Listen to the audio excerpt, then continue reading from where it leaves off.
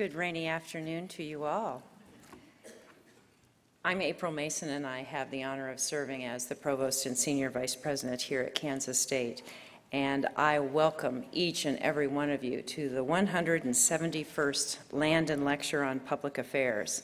Seems like we've upped that number quite recently with a number of these. Um, We're very, very pleased to build on a rich history of Landon Lectures. The Landon Lectures, if you don't know, started in 1966 uh, by two giants in Kansas history, the late Governor Alf Landon and the late K-State President James McCain. The goal of the Landon Lectures is to bring prominent thought leaders to Kansas State University to discuss, to discuss pressing issues of the day, and I think you will agree we have done just that this evening. We're very pleased to welcome President Luis Guillermo Solís uh, to the Landon podium to join 170 predecessors in bringing their thoughts, their opinions, and their views of important public issues. Before I have the pleasure of introducing our speaker, I'd like to recognize a number of special guests with us this evening. And as I read your name, would you please stand and remain standing, and we'll recognize all of these individuals together. I'd like to introduce Dr. Jackie Hartman, Chair of the Landon Lecture Series and Chief of Staff in the Office of the President, Dr. Barry Flinchbaugh, Chair of the Landon Patrons, Dr. Andy Bennett, President of the Faculty Senate and Professor and Head of the Department of Mathematics, Pam Warren, President of the University Support Staff, the Jessica Van Ranken, K-State Student Body President and a junior in political science, are you still a junior or are you now a senior? I'm now a senior. Senior in political science. Uh, Would you join me in recognizing these individuals?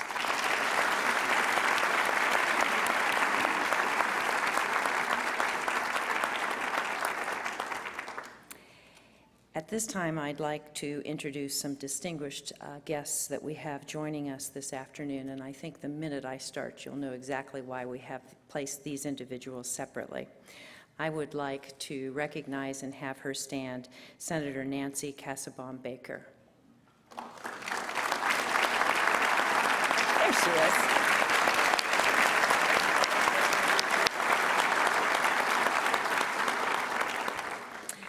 We also have the wonderful pleasure of having with us this evening the Consul General, Mrs. Christina Castro.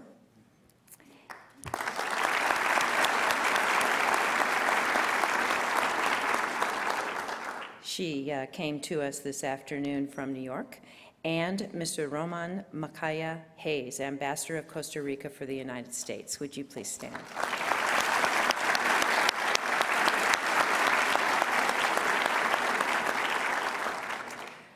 Both Mr. Hayes and uh, Ms. Castro have traveled with uh, President Solís for the Landon Lecture this evening, and we are very appreciative of them. I would also like to uh, thank Rudolfo Montes de Oca Luco- a prominent Costa Rican businessman and K-State graduate, uh, very influential in, in confirming our Landon Lecture speaker this evening. Is he with us?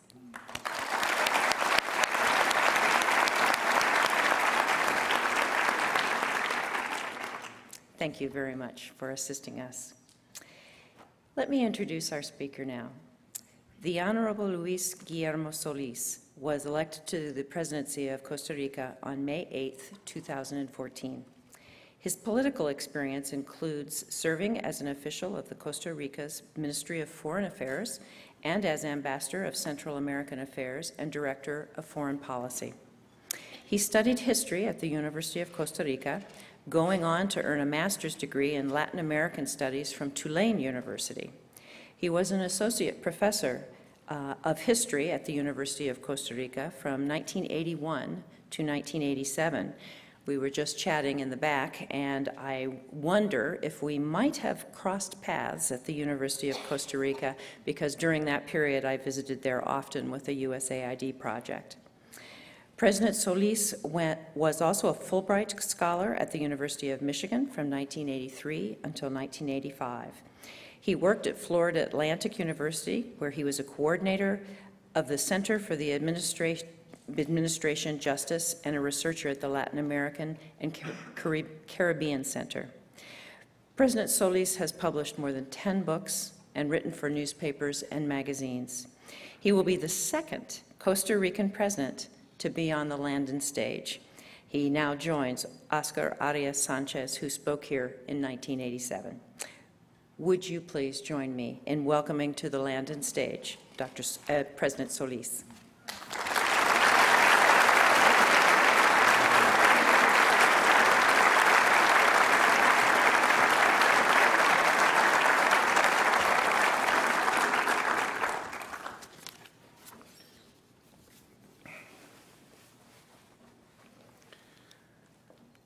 Good afternoon to all. Thank you very much, Madam Provost, Dr. Barry Flinchbaugh, Professor and President of Landon Patrons, Dr. Jackie Hartman, Dr. Andy Bennett, Ms. Jessica Van Ranken, Mr. Trenton Kennedy, Ms. Pam Warren, Honorable Ambassador Roman Macaya, Honorable Consul Castro, professors, students, ladies and gentlemen, friends.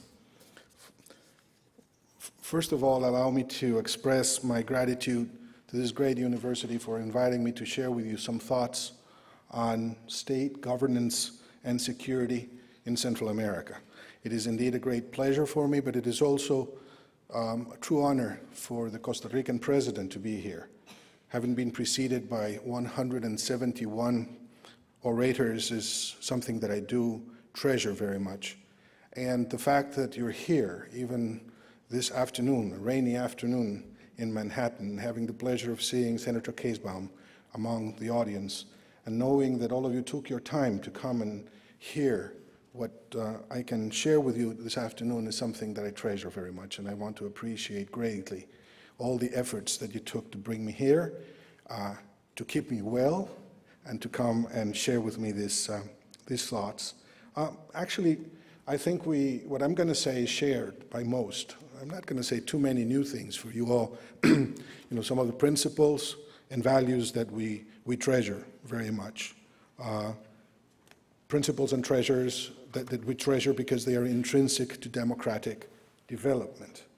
And I, I refer primarily to defense of human rights, the preservation and promotion of the uh, rule of law, the construction of societies that put in front of anything else the needs and the well-being of people at the core, at the center of public policy, disarmament, demilitarization as superior objectives like in the, in the search for peace among nations, and the respect for the environment and its sustainable use are as factors that are determinant for the survival of our species. Um, in that sense, I, I, really, I'm very pleased to, to be able to talk about some of the problems we're facing in a small region of the world, Central America, so small that all together these six nations, seven nations of Central America uh, form a continental mass no larger than Texas, but that's still very important in terms of the uh, place where it's located and as a bridge between the north, hem, northern hemisphere, the southern hemisphere, between the Pacific Ocean and the Caribbean Sea. um, well, you've heard I've been a professor for over 35 years. Uh, I'm a historian originally, and, and, then I studied political science. And uh, when one's a professor for so long, uh, at a lecture like this, I, I, necessarily have to talk about theory a little bit. I'm not going to go on for too long, but, uh, but allow me to, to say a couple of things about uh, the theory of the state uh, that I, I, used to, to talk with my about with my students. Um, every, every time we talked about security and, and how important it is for societies these days, it's a common, it's a common question we face all the time we forget that we have to put that in a, in a broader context. And, and that broader context has to do with the, the notion of security and, and the role the state plays in society and its significance. um, especially the relationship among states uh, and their relationship with globalization and the challenges of security that they, they confront. And these challenges uh, we know well. Among others, the displacement of human populations, largely migrations, uh, the growth of organized crime, particularly uh, narco trafficking, but not only narco trafficking. We're also talking about uh, the uh, smuggling of people. We're talking about cultural goods. We're talking about our environmental goods that are being trafficked every, everywhere. We're talking about uh, climate change, pandemics, and other similar phenomena which require um, the cooperation among states. These are all problems that we cannot solve by ourselves individually. So there's a whole new meaning to the word cooperation in this world of ours. And uh, in all societies, this is the case. This is not a question of the East or the West. It's something that we have to face everywhere in the world.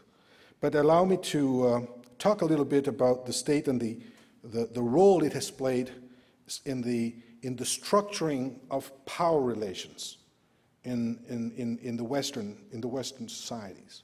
Not that it didn't happen elsewhere, but I, I find that it is important to at least refer to the experience of uh, the Atlantic West, those relations as portrayed in the development of, of the state in Europe and in Latin America, uh, the United States, and, and this side of the world.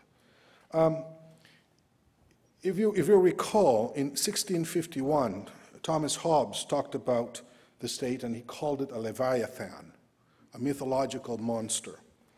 And among the most important, important character, characteristics of that leviathan, he talked about um, its role, its fundamental role in guaranteeing uh, the social pact by um, ensuring that this state was going to be able to exercise monopolistically, in other words, by in and on itself, the uh, use of force as the basis of security.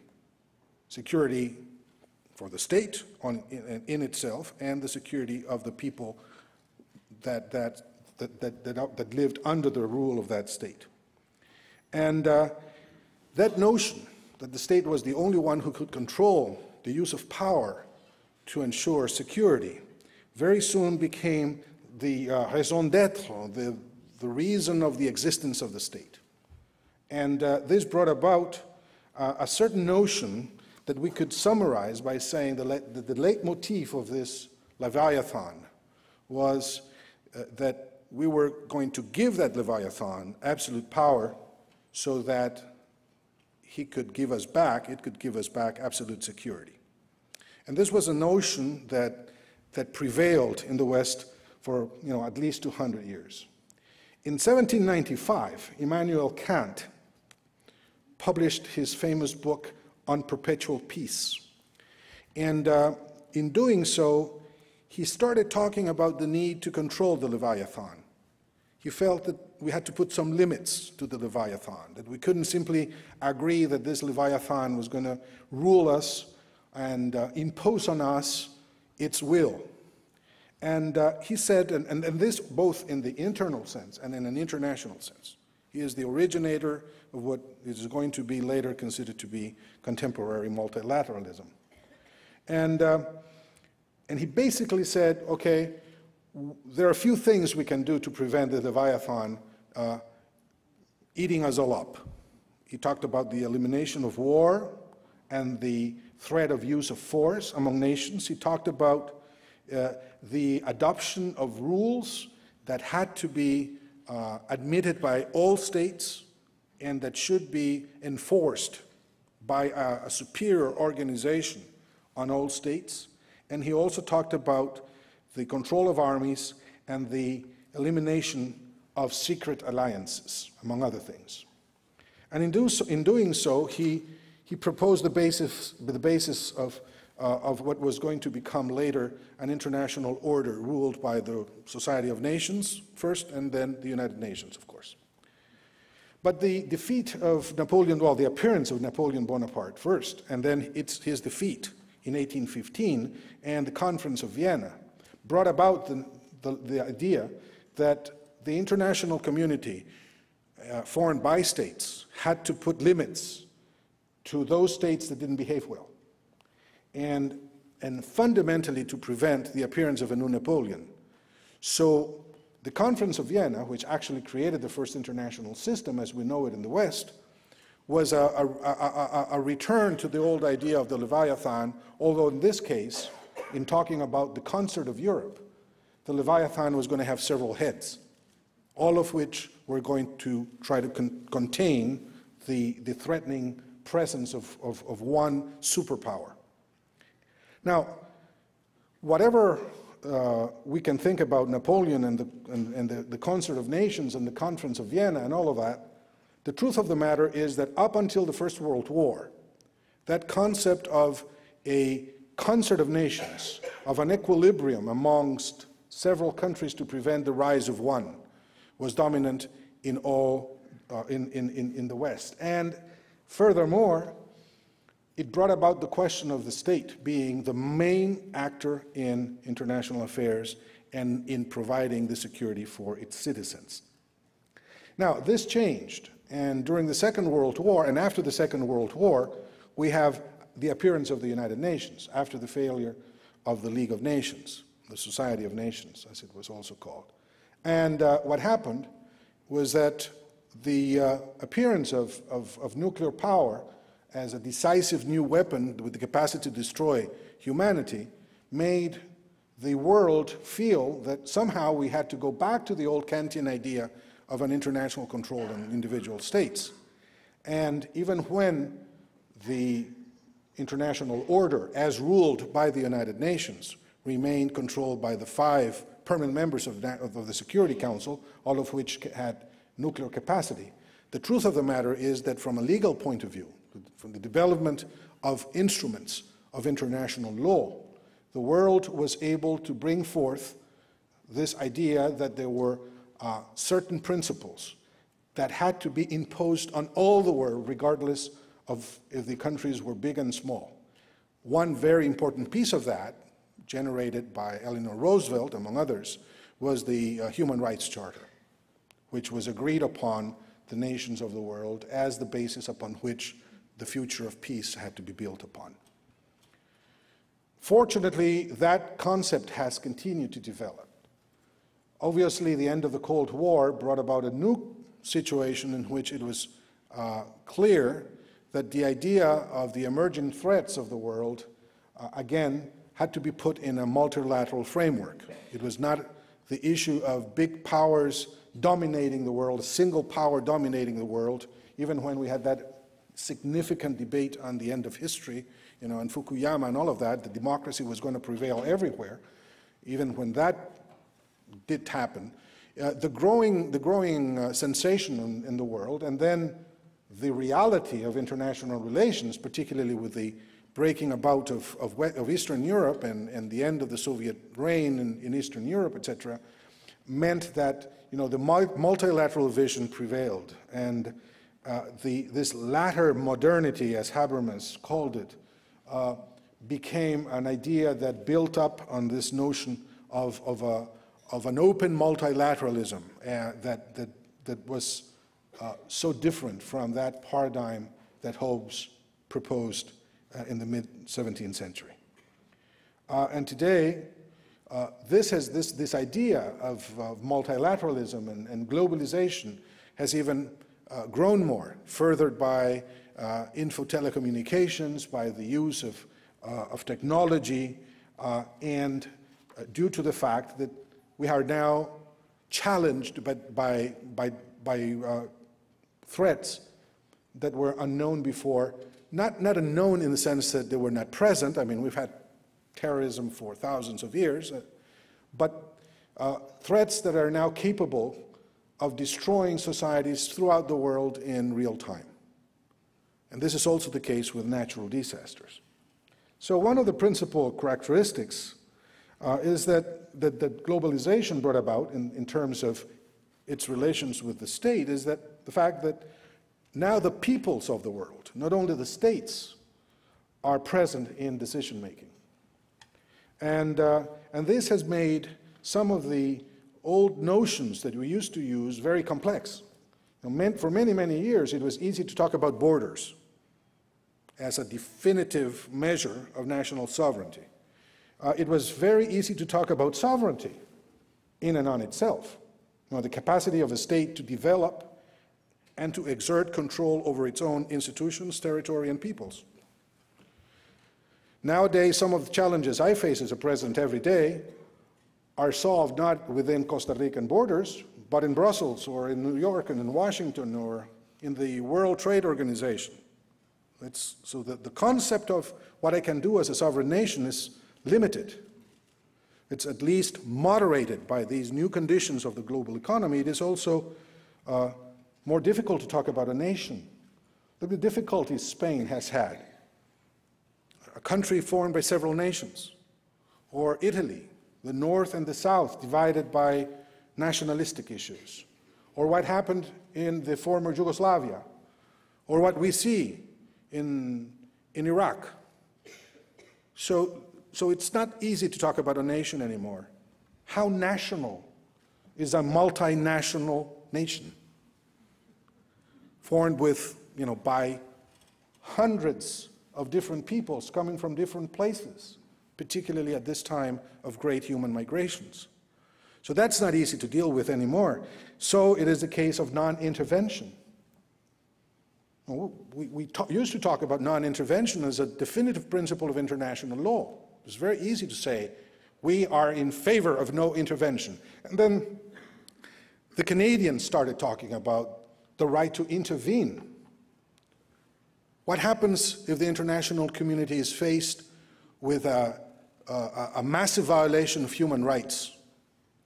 And destruction of human life. Do, does the international community, following Chapter 7 of the Charter of the United Nations, has the right, or some say the obligation, to, to intervene? Nowadays, that's even questioning. So, you know, the, the old concepts are, are difficult to deal with these days, and they have become void.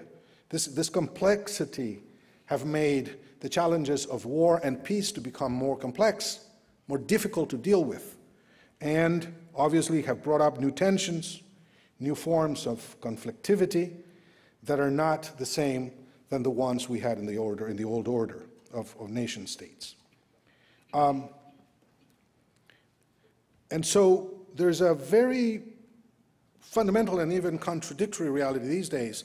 You know, the old nation state has to live side by side with these new realities, with these new complicating circumstances uh, with peoples that are not tolerating the behavior of these states anymore. The Arab Spring is probably a very good uh, example of what, of what I mean. You know, populations that say no more, we're not going to take it anymore. And that's, that's, an old, that's an old concept, clearly.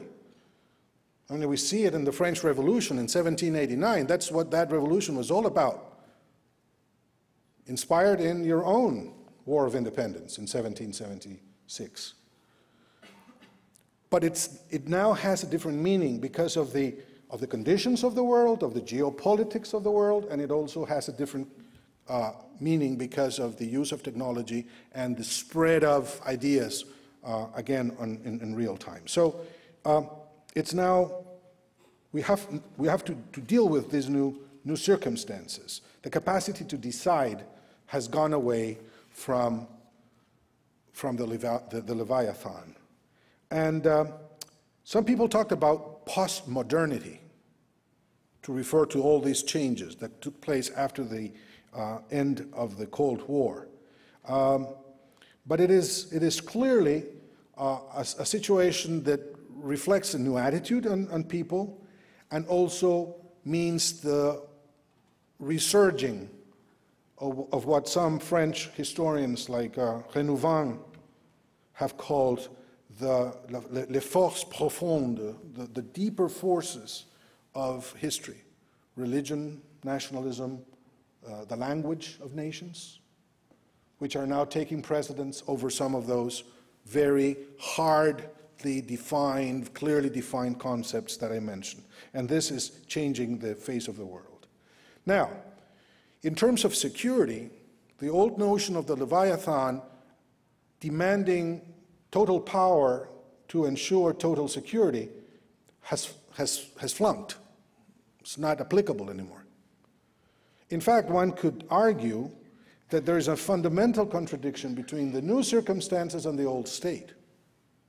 Mainly the fact that even when we are now dealing with democratic leviathans, they are leviathans nevertheless. And that in the ultimate analysis, they behave as such. And that therefore, there is a tension between the tools that states have at hand to ensure uh, security and the demands of the world on the one hand, these new threats that need to, to be uh, faced multilaterally or with the cooperation of several states, not only one, and also with respect to the demands of the population that say, listen, remember, I want, I'm here, and I'm the sovereign. So it doesn't matter if, you, if we voted for you. It doesn't matter if I, I gave you my the, the capacity to represent me as leader of my nation. I'm still your boss. And whatever I gave you, I can take away from you. And I don't necessarily want to wait for years to do so in the next election. And that circumstance is not a theoretical problem anymore. Look what's going on in Brazil this time. It's a very good example of that. And that can bring in a lot of problems dealing not with the nature of the state anymore, not even with the legal, the legality of the state, but with its legitimacy, which is even worse. Because here we're dealing with a different, different, altogether different issue. The nature of power as it is exercised by this uh, institution we call the state. So, in, in saying this, and I wanted to bring this about because I think we have to, to talk about public security and we have to talk about human security, which is not necessarily the same thing. And we have to talk about the threats that, are, that, are, that, that we face that are multidimensional in the exercise and the use of force. And in doing so, we have to find ways in which to make the action of the state in order to assure security more effective. I mean, how do we do that? I mean, the old recipe was be tough. The new recipe seems to be different from that. I'm going to talk about that in a little, in a in a little while. Um, threats being multidimensional, in other words, the fact that we cannot point at one single reason for a phenomenon such as terrorism organized crime. You have a multiple, not multiple factors uh, in the origin of these maladies, of these tremendous, these horrible things, uh, is one problem. Um, but also the fact that in dealing with that, you need you know, multi-dimensional instruments. It's not the question of the use of force anymore, or only the use of force anymore. And so we're talking here of not only um, structural factors that deal with insecurity, the economy, for example. We're talk, we are also talking of cultural factors, like religion involved. And all of this does have a, uh, an impact on security. And even when we have to be very careful not to criminalize poverty and find a relationship between uh, higher degrees of insecurity uh, associated with bigger uh, degrees of poverty. This is not necessarily the case. For example, uh, take two Central American countries, Nicaragua and Honduras. They're both poor by you know, UN standards. Yet Honduras is much more violent than Nicaragua.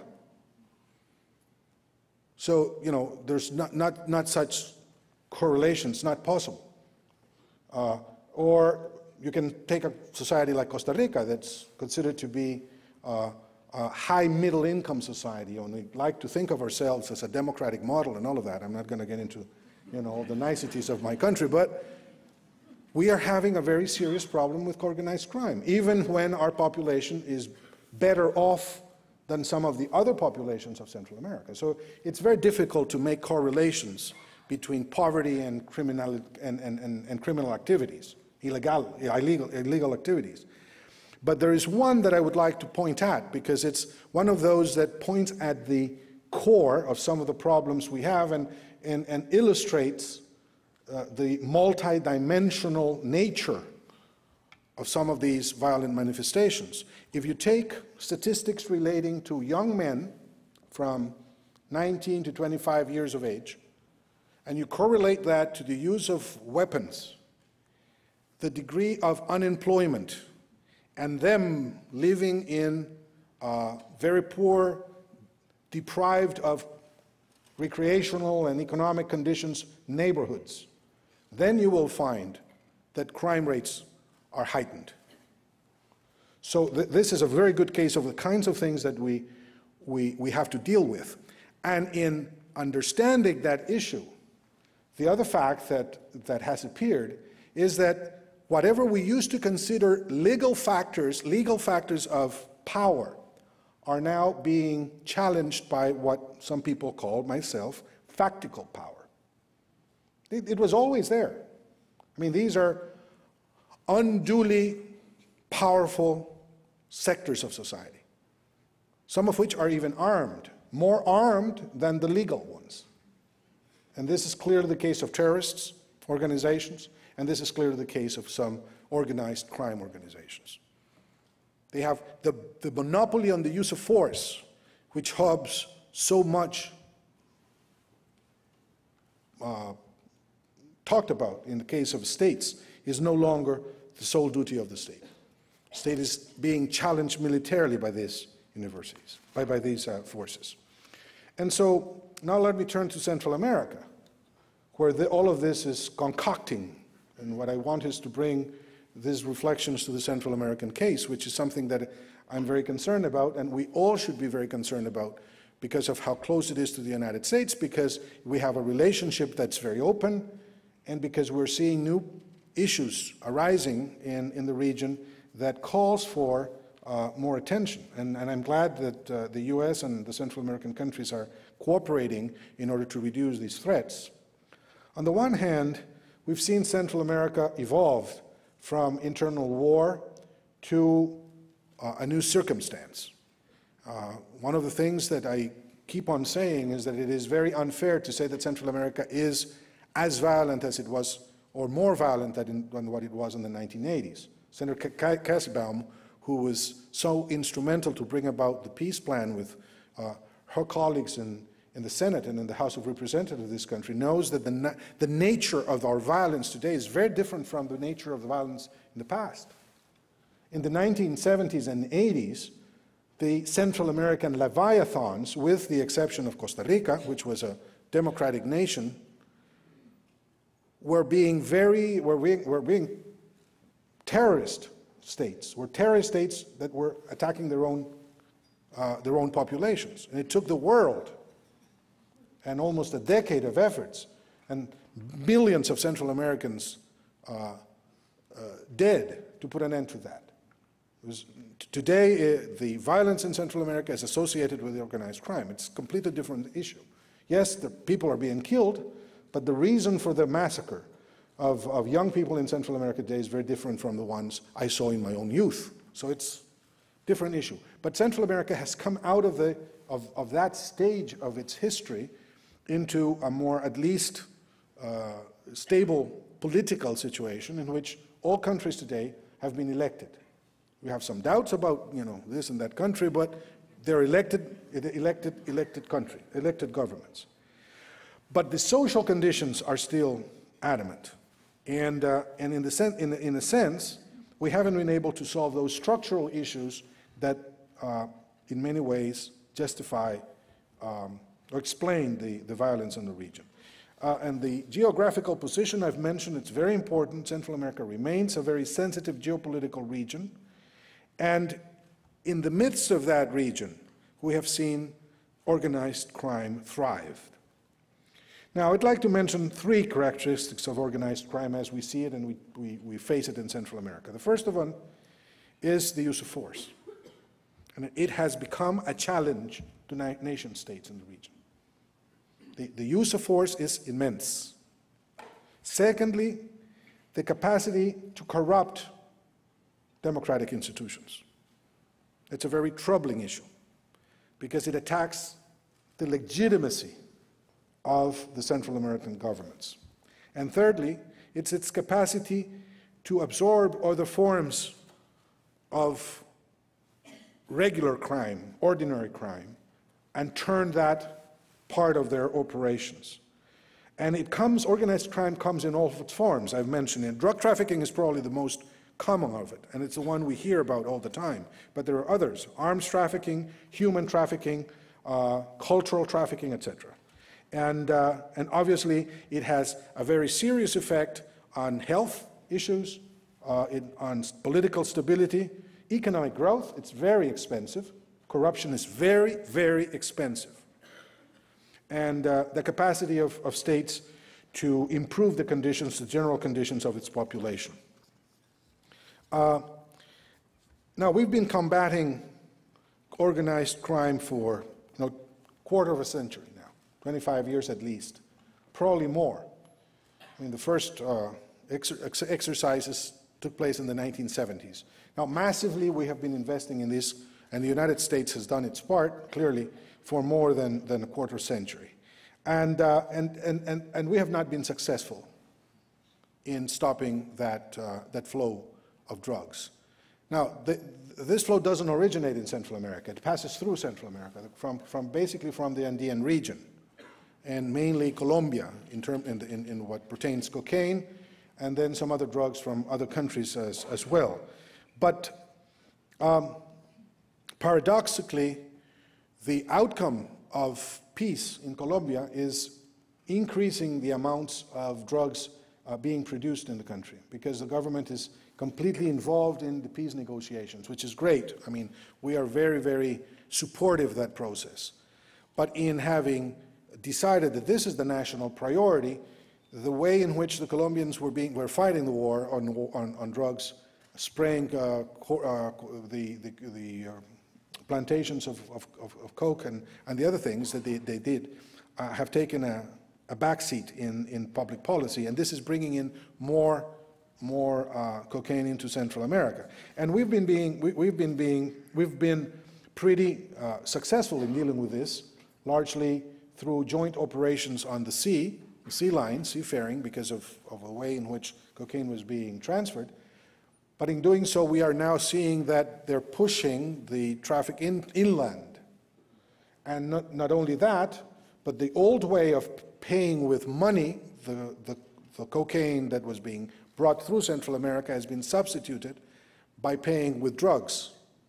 And in doing so, the violence in the streets of Central America have increased significantly because now we have smaller lords, war, uh, drug lords that are uh, fighting against each other all the time.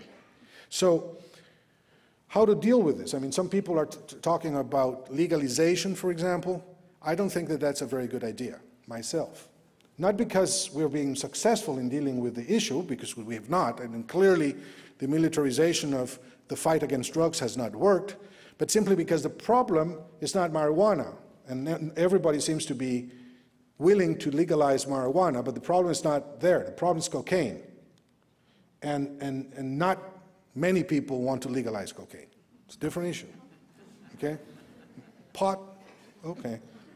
Cocaine, not necessarily. So this is uh, something that, that needs to be, I, I consider that, that I, we have to deal with, and I'm going to close in, with some ideas. We have to deal with this in a different manner. But anyway, uh, the, the situation has been serious in terms of, of narco trafficking. It has consumed a lot of effort, financial, military, security, human, without uh, real success. Now, there's a second manifestation of organized crime that I would like to, to call your attention to, and that's the situation of migrants. We are seeing Central America now become a bridge for migrants, and largely two kinds of migrants. One, one group, which is still there, although we have been able to deal with it in a very humane and constructive way, but it is a significant population, is formed by Cubans who are now capable of leaving their country with a legal passport into Ecuador that receives them. They're now asking for, for visas and things, but, you, but there are over 40,000 Cubans out uh, of Cuba that have been moving towards the United States because they are uh, given special privileges, migration uh, privilege in the United States under certain laws that were enacted during the Cold War. And uh, they want to come here, and if they are able to make it here, they cannot do it directly from Cuba. They have to walk around 8,000 kilometers from Ecuador to the United States, walking. Um, if they're able to make it to the border and they touch American soil, then they claim they're Cubans, they show their passport, and they are put into a program, and after a year, they're given uh, residence in the United States, and later on, they will be admitted as uh, citizens. And uh, we had 6,000 of them accumulated at once in Costa Rica just a few months ago. And uh, Panama had the same problem. They came from Ecuador through Colombia into Panama, Costa Rica, and then they were stopped there by the Nicaraguan government. Uh, and uh, it was very difficult to deal with that situation. But at least they had a passport. We know who they were, where they came from, and where they wanted to go. The second group is what we call extracontinental migrants. These are people who come from Africa and from Asia and from the Middle East. And they're coming following the routes of human traffickers. These individuals, who are also part of a, of a cohort of thousands, are now traveling through, through Latin America because their way of passage of old is now closed, which was the European route. They wanted to get to Germany, to France, and then they want to come to the United States and Canada. Now, this group is again massing up in the Costa Rican Panamanian borders, and they're being stopped by the Nicaraguan government. They're not being allowed to move north. And they're coming, you know, by the hundreds every day. Sometimes 100, 150, 50, you know, and they're coming up and they're coming up and they're massing up. And differently from the Cuban migration. This is a Cuban, uh, this is a migration that we don't know where it comes from. We don't know who they are. They're not identified. They don't bear a passport. And even when we know they're coming to the United States and this is where they want to come, we're not sure they're going to get here. And probably they're going to look for a place to stay along the way. And this um, situation has brought up a whole new circumstance in the region. Uh, we have a situation that needs to be handled from a humanitarian point of view, but there's no way we can do that because, one, the states in Central America are not capable of doing this. We don't have the resources necessary to hold populations of 5,000, 6,000, 7,000 people at once. This we, have not seen since the, since the 1980s.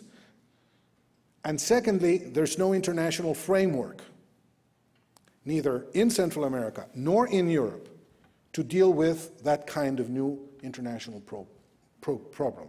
This is not being handled, they're not refugees, these are migrants, and in many cases, these are economic migrants, more in the case of, of, uh, of the Cuban crowd than the extracontinental crowd. So, in closing, I would have to say that this new circumstances are putting a lot of stress in regional security, particularly when you have these crowds of people who, some of them are not even uh, Christians in the sense that they have to receive a special treatment because they have different traditions, religious traditions, which we're, in the case of Costa Rica, we're trying to take uh, care of. For example, we bring in the imams from the single, uh, the, the only mosque we have in San Jose to deal with 20% of that population that's, that's Islamic, but who do not have also the, the other traditions, share the traditions, the Latin traditions that the Cuban crowd uh, has. So if they, the, the, the whole condition of this migration is very peculiar because, you know, unless, unless we want to create a very serious social issue within the country, we have to let them go. And, and clearly we're doing that. We are allowing them to come into the country. We process them in a detention center. Uh, the law says that we cannot hold them there for more than 30 days because they have committed no crime. They're not criminals. They just went away uh, from their own home countries following the need to, to survive. In some cases, survive from war. In other cases, to survive from hunger. And they're in, in, in Costa Rica. So you know, they, are, they, they cannot be held there. And so we, we free them, and what they do is they find somebody who was willing to take them north. And then we transfer the problem to the next country. And, and, and so they go up. And eventually they're going to reach you, the United States but we don't know who they are, and we don't know who they, where, where they come from. And, and this is a big concern for Homeland Security. Okay? Because the, these are the new challenges, okay? So, and this has not been, we, we, the, the Leviathan is not capable of dealing with these issues. So, in trying to find new ways to eliminate these threats, what is the international community doing and what, ca what can we do about it? And I'm going to close with this. First of all, we have to understand this new the new conditions of, of, of security threats. Uh, and that these threats are growing. They're not, they're not reducing. They're not being reduced. They're growing. Um, and that, uh, the, the, that the dealing with these new issues is not something that states can do successfully all the time. In other words, we need more than the state. The Leviathan is not working. So this, this entails getting some other members of the community involved.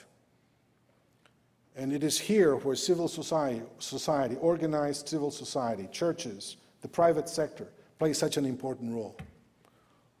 We're calling the attention of, of these groups you know, so that they can become part of the solution. We are very concerned about uh, community works, community work. So we have to get people involved so that they understand the depth of the challenge we face from the states. Um, secondly, we have to deal with the economic realities of these individuals. It is not possible to stop them if they have reasons to leave. And in fact, you know, there is a good case for considering migration a human right. What would you have said to your forefathers, to the founding fathers of the Republic, when they wanted to leave England because of religious persecution, for example? Was that a right? Should have they been considered illegals, as we call them, because they decided to move away? Or my own experience, my, my family on my mother's side came from Jamaica. My grandmother was a, my great grandmother was a black woman with five children from three marriages. She had widowed three times.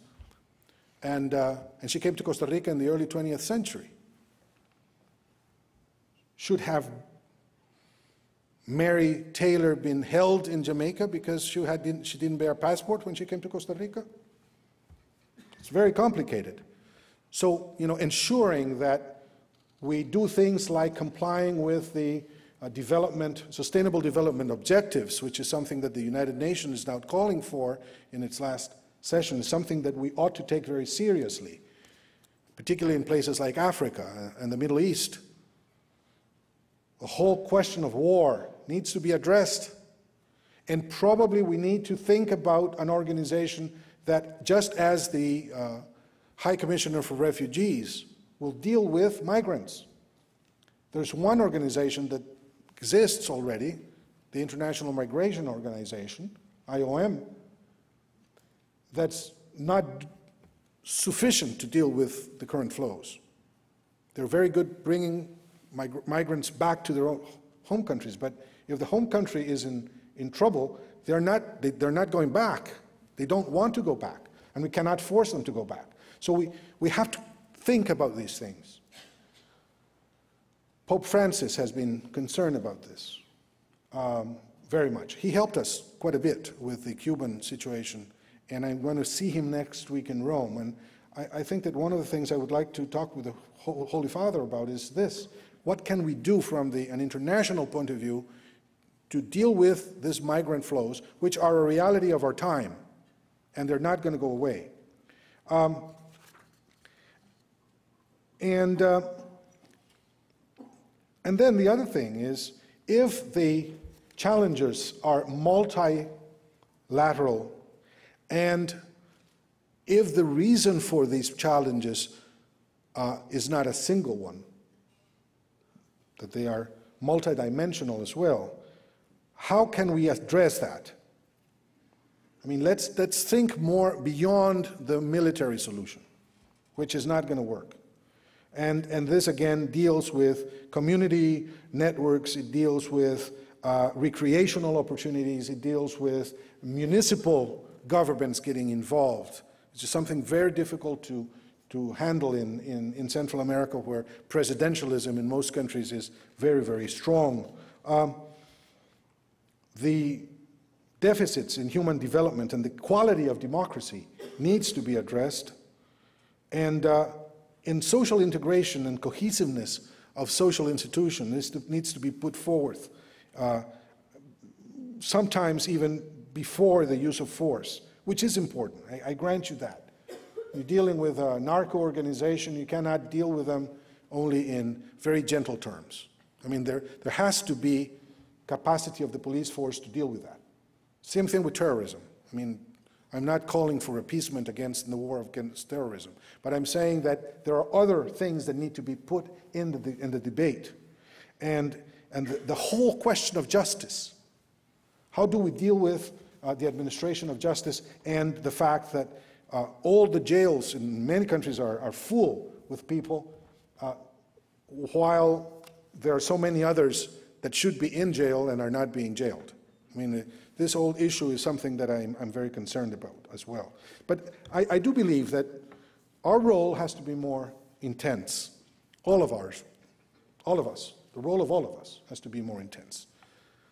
And uh, when I come to the United States and I hear the experience that, that you have here with the involvement of people in community affairs, I'm very, very happy.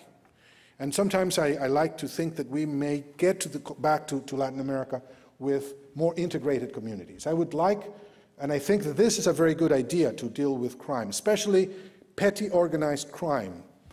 The local crime that we're dealing with in, in Central America is, as, re, as a result of the new ways in which organized crime pay for the drug and all of that. More integrated societies. Yes, family values, yes, of course, very important. But beyond that, the capacity that we have to join and take over our communities again.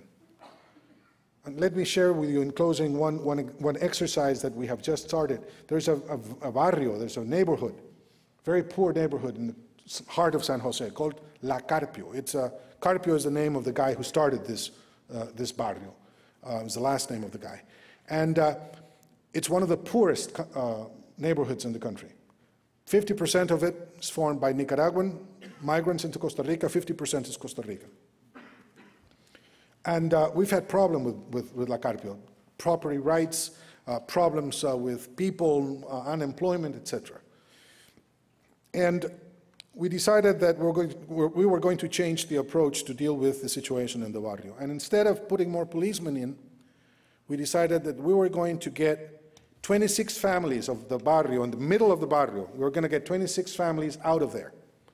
And we found places for them to be, and they all live in houses that, uh, that do not belong to them. And the, the, the, the, property is not theirs. The property is public, and they just, uh, they've been there for years. So we gave them a new property somewhere else, and we decided to build a school for La Carpio. School and a high school in that property, in the middle of town. The impact that has had in the community is impressive. I'm not going to say that we are solving all the problems by building that, but the new community spirit, the new purpose that the people of La Carpio have found in having a new, wonderful, beautiful school is something to be uh, analyzed.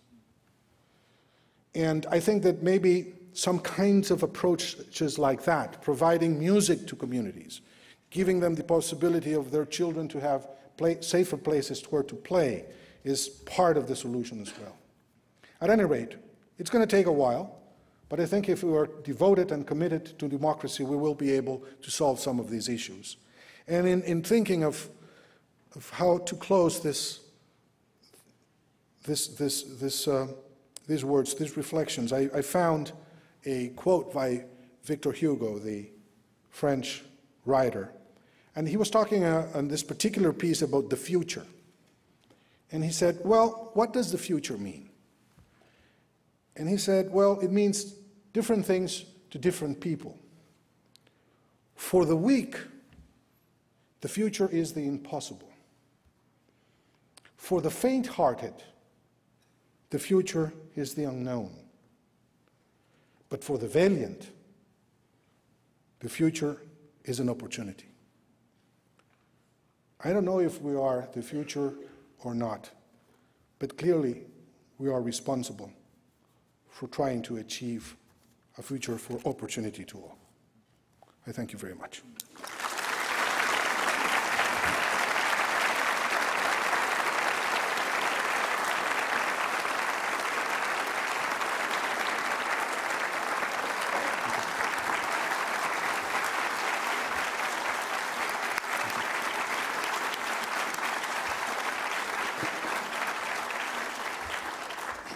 President Solís, I thank you for your very uh, challenging and inspiring words.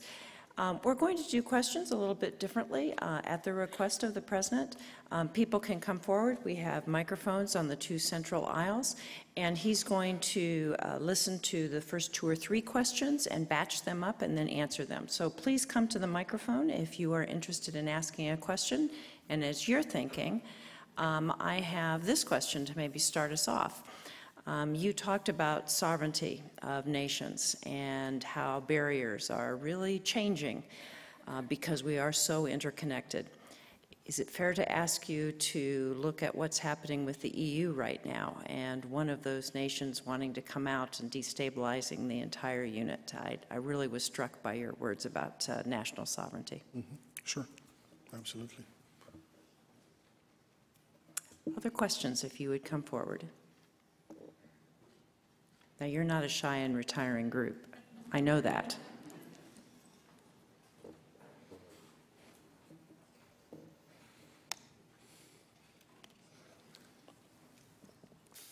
Hi. Uh, I was wondering what you think about um, the amount of personal responsibility a citizen of a country has to stay in that country and improve it. If uh, Costa Rican citizens should pursue maybe an opportunity for a better life in America, or if it's their duty to stay in Costa Rica and improve that country, and uh, just not only Costa Ricans, but uh, citizen of any country. Thank you. Sure. Um, I don't know how many people here know, but you haven't had a standing army since 1949. You've invested heavily in education. Uh, what are the challenges to maintaining that and maintaining the funding of education and, and other things as you go forward? Sure. Okay, let me address that, these three questions, and then we do a second round. Well, clearly the, the, uh, the European Union is facing a huge problem um, uh, on the question of integration. They have the most developed integrated model in the world. No region at no point in history has had the level of integration that they've reached, other than empires, which obviously are not models of integration but a forceful uh, submission, which is a different thing altogether. Um, it, I, I think that it is very complicated for the United for, for, for Europe to be challenged by, by well actually I think when is it that the uh, Great Britain is going to uh, I think they're voting next weekend if they stay or not in in the European Union. Uh, the problem of, of, of integrated systems is that they are as weak as the weakest link in the chain. And so you can have very committed countries that if you have one or two that are failing, then it's not going to work. And the European Union has been moving very fast in, in its integration with a number of very um, important agreements, uh, including monetary agreements, uh, Schengen, uh, dealing with migrations, uh, and, uh, and so on and so forth. And now to undo those agreements could have very serious institutional and political consequences. So the only way they can escape from integration is moving forward, in my opinion, not, not going backwards. I mean, if the European Union starts undeveloping, instead of evolving, going backwards to the idea of breaking apart, I fear that the consequences are going to be uh, extremely serious for the system. Because now, you know, the, the larger part of Europe has become integrated in toto.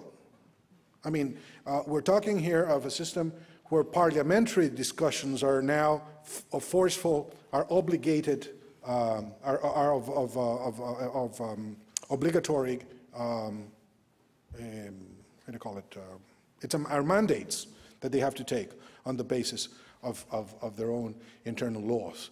So uh, that's, that's my fear. And I, I do hope that uh, Britain will, will, will stay uh, a member of, of the European Union. Now, let me say this, because uh, the position of Costa Rica vis-a-vis the regional Central American integration is very similar to Britain. That's not assured. They could come out. And, uh, and even when uh, the uh, Great Britain is not part of the monetary union, and even when they have, you know, they have kept many of their own, so they're a marginally, uh, uh, a marginal part of the integration system, their political and economic weight is such that it can have a very serious impact. Um, the second question on personal responsibility, stay or not to stay. My, my experience in dealing with, you know, migrations everywhere um, is that people tend to stay if, in, the, in their own countries if they have the opportunity to do so. I mean, if, even if the conditions are not as good in terms of how much money they can make, if, they can, if we can provide the sufficient conditions for them to stay without being threatened and without having problems of hunger and health issues, etc., they will definitely stay. They are not going to go away. Some people go away, obviously, because those who go away are the more, the, the, the more um, aggressive, the more, the, the people have more initiative. And if you, if you make, a, if you make a, a, a, an analysis of who are the people who go, they are probably the more, the, the, more, the more willing to, to be challenged and to, to survive and to move forward. Just think what it takes for a Cuban, and we're talking of, a, again, a very specific kind of migrant because they are documented and they, they have conditions uh, of education in Cuba and also um, con legal conditions if they arrive to the United States. But just think of this. They have to, living in an island that's only 190 miles away from the United States. Because of American law, they have to travel to Ecuador and walk from Ecuador to the United States 8,000 kilometers. That's twice the size of the border of the United States with Mexico. They have to, it would be like walking across Mexico to the end of that border and then back. That's as, how much they have to work. So I'm, I'm pretty, pretty uh, clear that if they have the conditions, they don't go. Look what happens with Costa Ricans. Yes, we have, you know, uh, several thousand Costa Ricans abroad. Some of them are here. They've lived in, in, in the United States for a number of years, and they're very happy to be here. But, uh, but they have not, but the, by and far, our migration is a fraction of the migration of other Central American countries. And, and obviously, the, the, the case in point is El Salvador, where several million Salvadorans have traveled to other countries, including Costa Rica, for personal safety reasons and, and economic reasons. And in terms of the Army, we, we, are in no position to recommend anything to anybody because we, we know that the, the, Costa Rican case is uh, pretty exceptional. But it has worked for us. It has worked for us. We've been able to uh, deal with our security challenges with, uh, with the police force and with specialized police units, which are the ones we are now using to com combat narco trafficking, for example. And most of our efforts have been placed in investing in education. The Co- Costa Rican Constitution states that we have to, to, to invest as much as 8% of our GDP in education. And we have been doing this for a while. We're very close to that magical number of 7 point, we are at 7.89% of our GDP. If we're able to pass a fiscal, our fiscal reform, which is what I'm, we're working at at this point, uh, we will be able to get there by the end of my mandate in 2018. But uh, beyond and above and beyond the, of, of that, that number, that magical number, we have been investing in public education for over 150 years. In Costa Rica's first girls' school was created 10 years before we, we became a republic in 1839.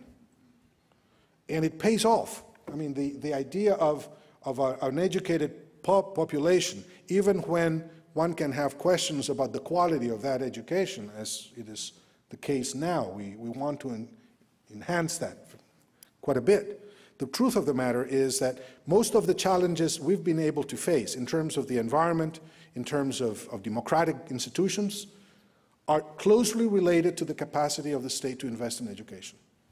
It's the most powerful tool. I don't have to convince anybody here, I'm sure. It's the most powerful tool a country can use to enhance human development. There's no other. It Takes time, it's expensive, as democracy. Democracy is expensive as well, but it is essential for human development. That's the experience we've had, and I would not take it away. In the sense, I would not think about any other possibility, uh, simply because it's it's a very, very fundamental part of our national being. Let me finish this, an- this question, uh, answering this question by sharing an example of this.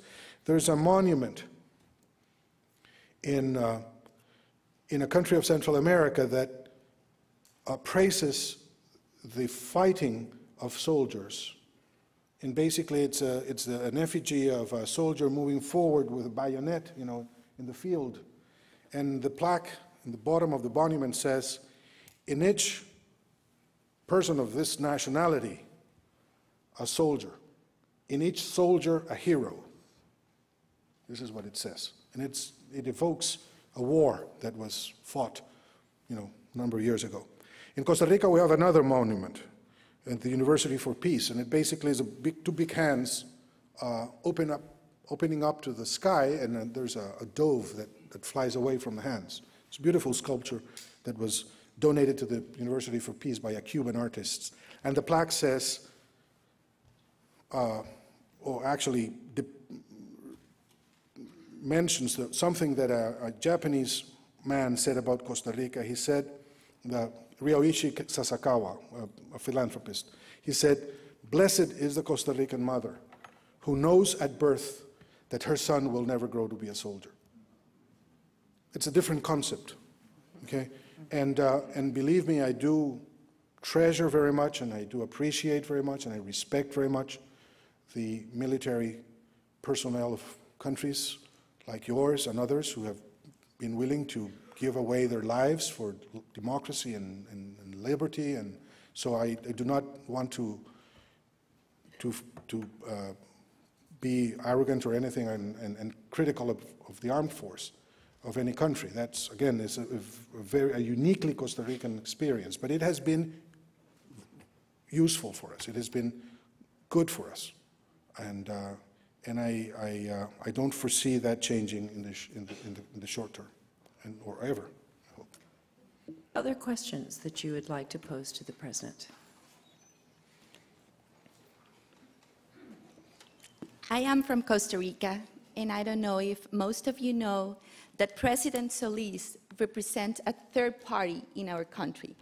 He was the first president elected on a third party uh, a few years ago. So, knowing that, what has been your um, challenges and opportunities uh, as a president on a country that has been ruled for the main two parties for a long time? Good evening, sir. Thank you for being here. Um, Mr. President, how do you view American businesses and/or entrepreneurs interested in potentially coming to Costa Rica to start or grow a business? Do you look favorably on that, or do you prefer to limit it and organically grow your economy? Have you seen a strong coordinated response among Central American countries in addressing Zika, or is that kind of addressed independently? Uh, the Zika, the, the, or the, you're talking about the, of the virus, or are you're talking of the Central American integration Oh, system? the virus. The virus, okay. Same word, different wording. One's with a Z, the other one's with an S. Um, okay, let me address that. Well, you know, it, Costa Rica was very similar to the United States in the sense that we had a bipartisan political system. So there was a bloc that resembled your Republican Party, and there was a bloc that resembled your Democratic Party. Back in 2002, uh, the Democratic-like bloc splintered, and out of that splintered came a new party that, in, called the Citizens Action Party, that for three consecutive uh, elections lost the elections to the traditional blocs. Okay? Uh, on the fourth election, I came around and, and, and we won the election. So I'm the first non, non-bipartisan candidate to win an election in Costa Rica in 60 years. Um, oh, how sweet it sounds.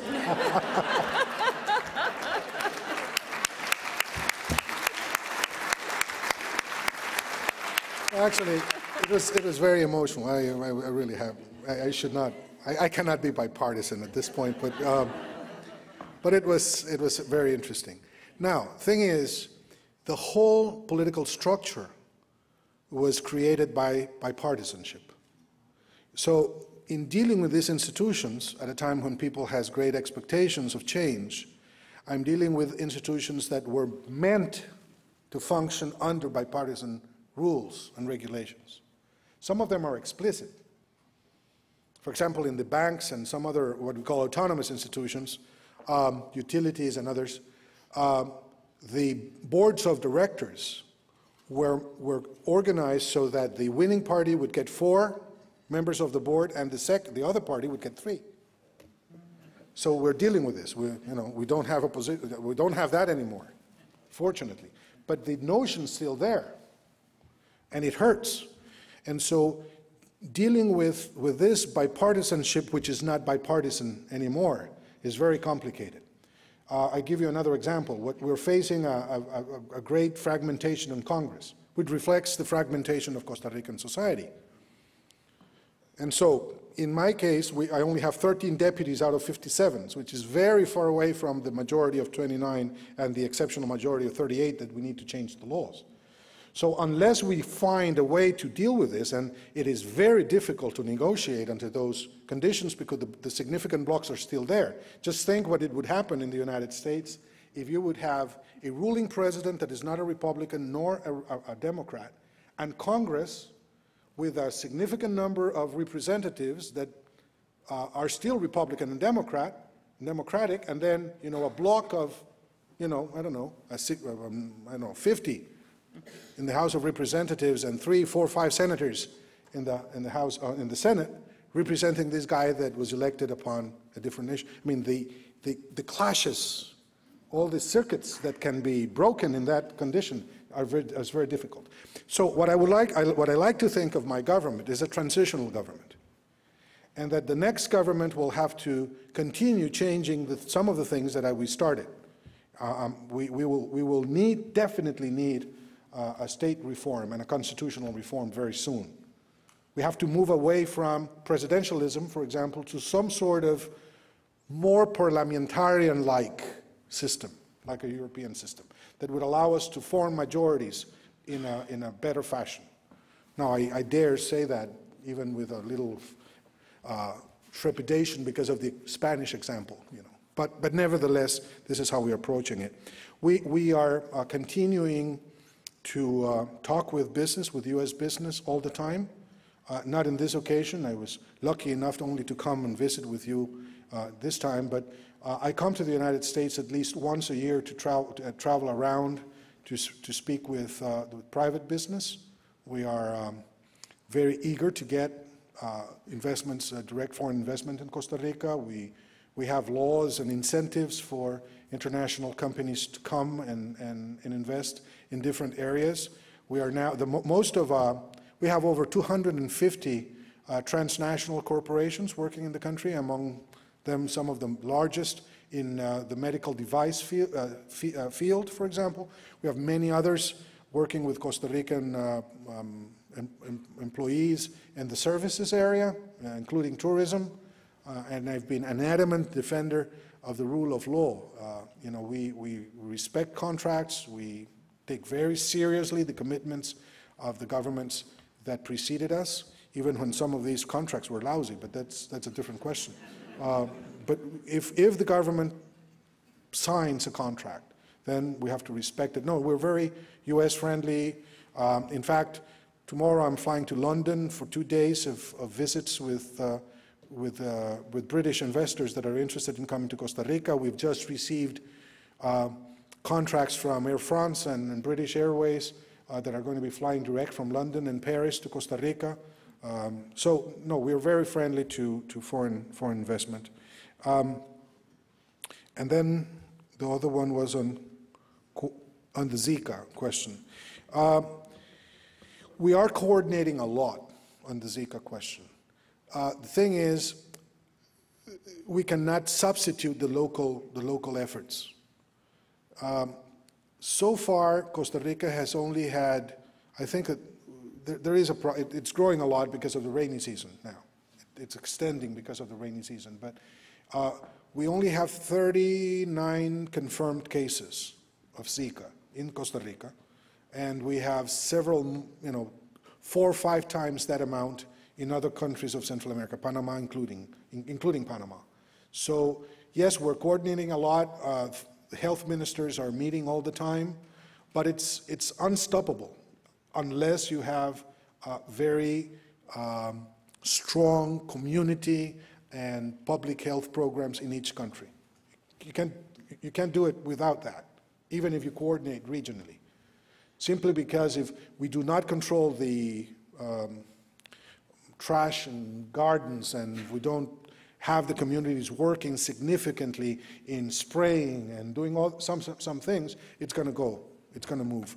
And one of the problems is, that I find, is that with the migrants that we're now having in all these countries, they are there and then they move on, and probably we're getting migrants with Zika, uh, contaminated with, with the Zika virus when they come into Costa Rica, and they're departing Costa Rica with the Zika virus.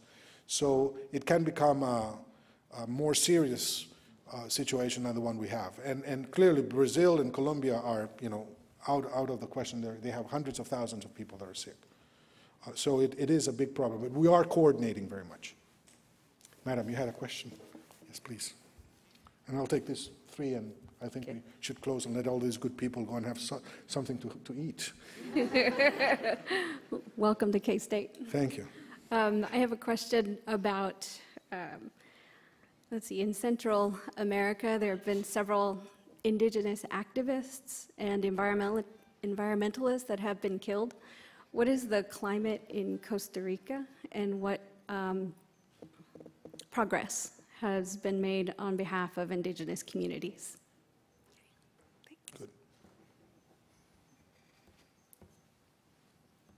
Mr. President, the issue of Africa and the Middle Eastern countries is alignment. What do you think should be collective action of uh, world leaders in resolving immigration and uh, all sort of problems in the world?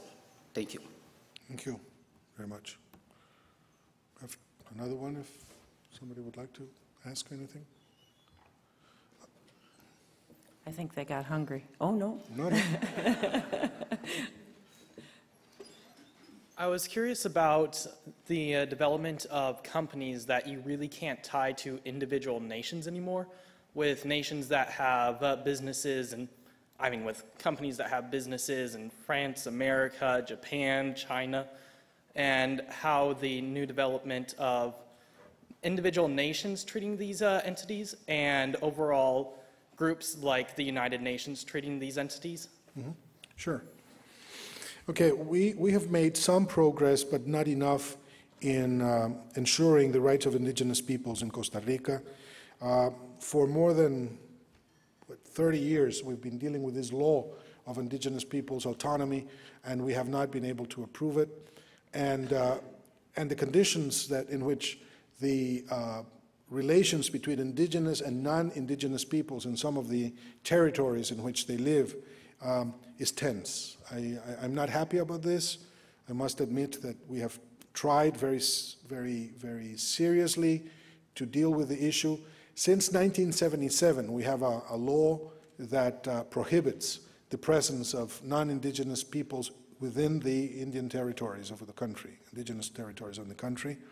But this is not the case. Uh, we have some indigenous territories where we have more non-indigenous population than indigenous population. So, uh, and there are 26 of those territories in the country. So we are trying to deal with this creatively and also respectfully because it is also true that in some communities the indigenous population wants the non-indigenous population to stay, whereas in others they don't want them to stay and they want them out of there. And believe me, when, when you have uh, the lack of, of, of, land that we have currently, uh, the idea of bringing peasants out of uh, an indigenous territory into nowhere is something that really boggles my mind. I mean, how, how can we do this? It's not a question of giving them a house. These are, these are peasants. I mean, they, they, are, they want a farm. They want to work in the land. It would be like taking any of your uh, producers here and sending them to a small apartment in New York. They wouldn't like that. Okay, it's, it's even if it is in New York. And, and uh, so we, we are dealing with this. Uh, and we are bound by international um, treaties to solve this question. Costa Rica forms part of, of a number of them, and we are forced to, to, to do this. And in terms of environmental activists, uh, fortunately, we have not had incidents uh, that uh, have created uh, threats to their lives um, as frequently as in other countries. There was a man that, who died a few couple of years ago after being attacked by uh, apparently narco traffickers um, who was working in the beach with turtles. And he, he got caught in, or he, he saw the, the narco traffickers as they were, and, and they were, they, he was killed. But he was not killed because he was watching turtles. He, it was a, an event that, and, um, and so we haven't had that as much. But uh, no, most of the environmentalists are very active. Um, fighting the government, and that's quite all right, even when I do my best and I feel myself as an environmentalist. In fact, so much so that I won uh, the uh, yearly award for being the enemy of sharks last year, um, which I am not. I mean, I like sharks. Uh, regarding African and Asian immigration, um, yes, you're right. I mean, most of that immigration is associated to economic or, uh, or security issues. I mean, it has to do with the opportunities and it has to do with war. Uh, terrorism or just local war. Uh, we've seen that in this case of Africa several times over. And uh, I think most of the world realizes that. And, and, and, and Africa is clearly, uh, today is clearly the uh, center of most uh, international attention in terms of, of aid for development. Um, now, clearly the challenges are so immense that, uh, that it's not easy. Now, uh, clearly there's a circumstance in the international order that doesn't allow the monies that could uh, go to Africa to go there anymore, as it was the case in the 1980s and 90s. And that has to do with the economic crisis that a lot of the richer countries in the world have been experiencing. So even the Scandinavian nations that used to be the ones closer to the 1% of the GDP contribution in, in aid to underdeveloped countries are not being able to hold that, that promise. So there is a problem there. But, uh, but you're absolutely right. Unless there is a uh, commitment of the world, which I think again exists, to provide the resources that the lesser developed countries in, in Asia and Africa uh, deserve, there's going to be very difficult it's going to be very difficult to stop some of these migration flows. Now, again, uh, there's the other question, war. And uh, a situation like the Syrian situation is something that, uh, again, affects uh, thousands of people who are now moving away from the, that scenario that was under control only a few years ago. And I think the whole idea of intervening in a situation like the Syrian one has provided a number of lessons learned to the, uh, to the powers of the world, that maybe we should not do things like that, that, that way. Because sometimes we may have more problems than solutions if we intervene inappropriately. Um, and transnational corporations, you know, that's, the, that's an interesting thing. I mean, that's the rule of the game these days. I mean, uh, globalization has made its way. It's part of the reality we deal with. Uh, the World Trade Organization and other organizations were created precisely to deal with the problem of the transnationalization of everything, of the economy, of everything. And, uh, and that's not going to change. I mean, we cannot go back to the old days where we were isolated from each other. We were just joking this morning with, uh, with the ambassador and, and, with the Secret Service friends uh, that have accompanied me during this, this trip that I wish my, my, my cell phone um, got really screwed up and I, they couldn't reach me anymore, you know. but that's, that's not going to happen. And so the whole idea is um, of, of, of, of, the economy not being transnationalized is, is it's not the case. So what we have to do is to you know, agree on rules so that there's more fairness in the way we deal with issues. This is a whole new discussion um, that you probably have it in, in this great state quite often because of the nature of good part of your economy dealing with agriculture and how, how to, and we're having the same debates in Costa Rica. I mean, how to ensure that our local production is adequately uh, adequately related to the more dynamic sectors of the globalized economy, which in our case uh, has, is something that has been neglected for over 30 years. We only, you know, we kept on thinking of uh, that the only way out for a country like Costa Rica was becoming globalized and, you know, finding uh, foreign investments and, and changing our traditional our traditional exports, which is fine. I mean, we, we agree that this is a good part of the, of the equation. In fact, I always picture this as, a, as an airplane with two engines, of which only one is really pushing the air, airplane uh, enough.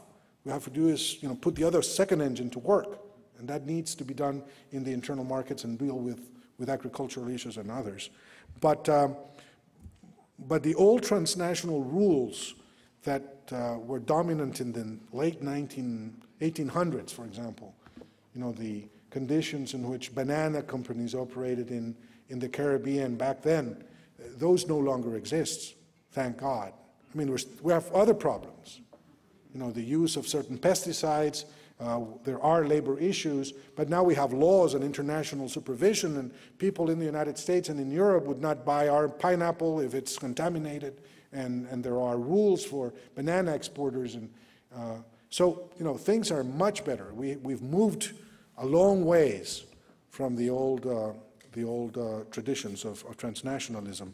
But clearly, it's a path that we cannot ignore. Um, I think that that's that. We have kept Dr. Solís, er, Dr. President Solís, I gave you a new degree, um, very, very busy today. Um, he had the opportunity to visit with members of our College of Agriculture. He also had the opportunity to meet some of our students and scholars uh, that are studying here from Costa Rica. And just, just to, to make you feel good that there are many people in the audience, if you're one of our students or scholars uh, from Costa Rica, would you stand? Oh, there are several here. Yes. Oh, yes. What a bit.